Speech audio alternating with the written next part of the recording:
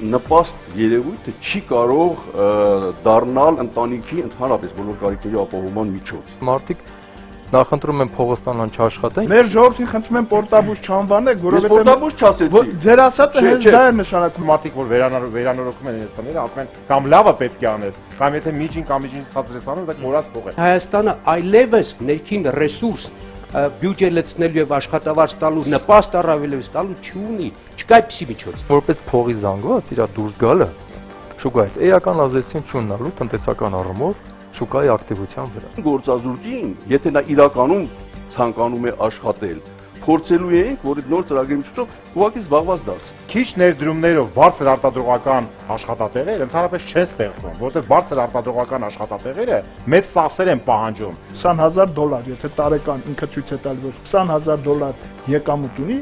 ինքը բարձր աշխատավարձից չի օգտվում։ Այս մարդուն հենց արեք, որ գողություն չանի։ Միայն Ռուսաստանից, միայն 9 ամսվա ընթացքում Հայաստան տրանսֆերտով պաշտոնապես ոչ գրպանով վերած փողով մտել է 1 միլիարդ դոլար։